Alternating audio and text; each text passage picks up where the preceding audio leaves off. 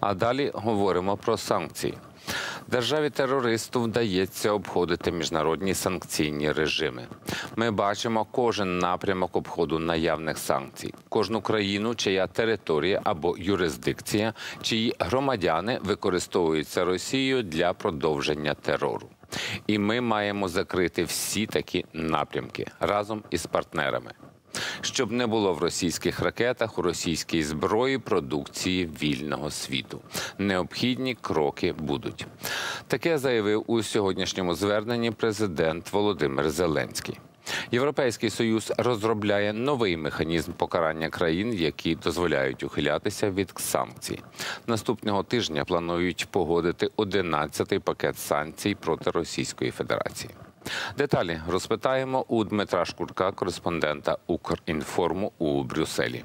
Дмитро, вітаю вас наживо в ефірі марафону.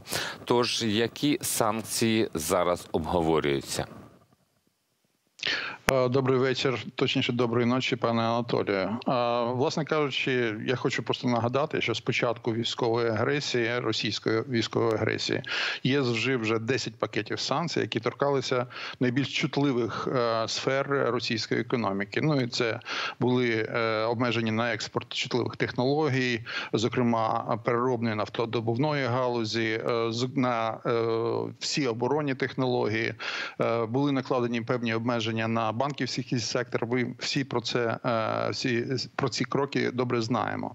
Але що є дійсно е, правдою, ви справедливо зауважили, що е, головна мета цих санкцій стосовно того, щоб обмежити здатність Російської Федерації фінансувати власну машину війни, вона була, якщо і досягнута, то не досягнута в повному обсязі. І власне кажучи, ті прильоти російських ракет, які ми сподівалися, будуть не так активно випускатися російським військово-промисловим комплексом після того, як ЄС ввів санкції на експорт е, чутливих технологій, технологій подвійного призначення, поки що цю мету не вдається досягти.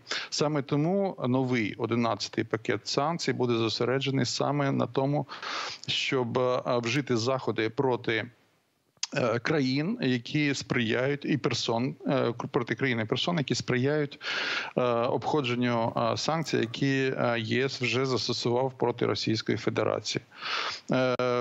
Власне кажучи, в ЄС була створена спеціальна оперативна група щодо цього, яку очолює такий собі посол Девід Саліван, який якраз займається питаннями того, яким чином різні країни світу допомагають Росії обмінати зняти ті санкції, які, власне кажучи, внаслідок цього не є такими ефективними, як, як ми всі сподіваємось. Е, треба ще зазначити, що з кримінальної точки зору це є злочином зараз з точки зору законодавства ЄС.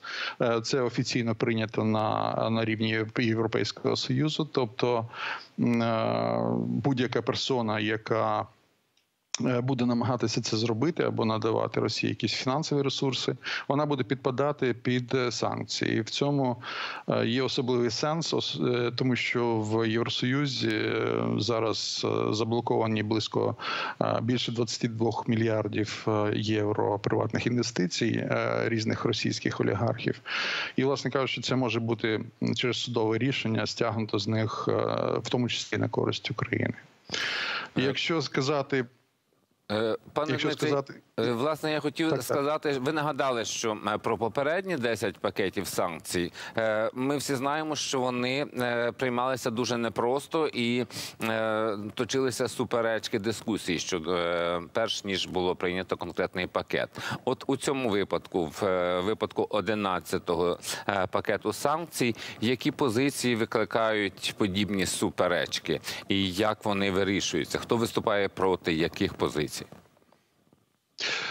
Ну, дивіться, ми маємо враховувати е, у цьому сенсі е, загальну позицію Європейського союзу, і вона не змінюється вже багатьох протягом багатьох місяців.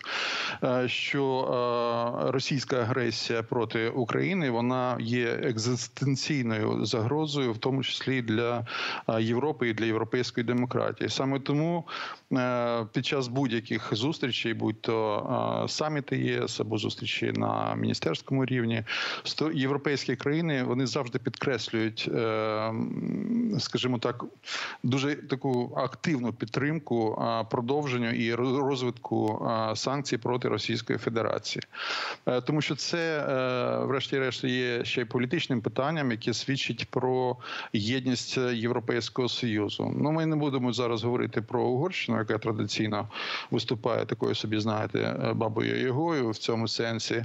Але як мені здається, Європейський Союз поступово знаходить певні важливі впливи, в тому числі і е, на е, ці на, цю країну. В тому, що стосується е, проблемних питань, якщо говорити про 11 пакет санкцій, туди не увійдуть ті положення, які вже тривалий час чекає Україна. Зокрема, йдеться про.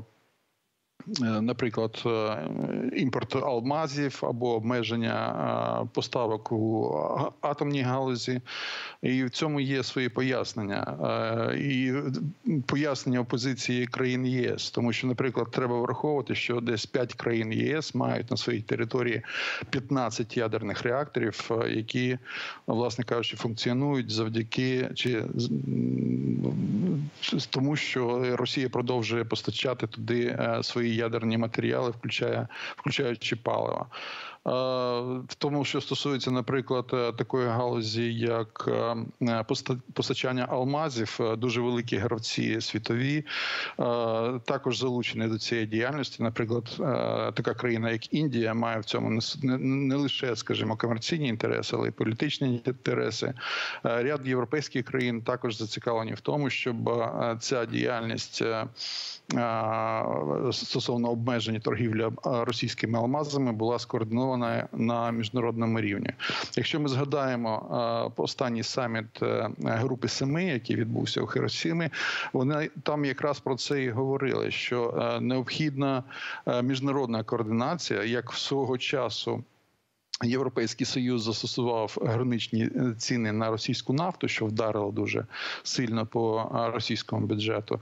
Таким же чином мають е, вживатися е, міжнародно погоджені санкції е, по обмеженню е, російської торгівлі.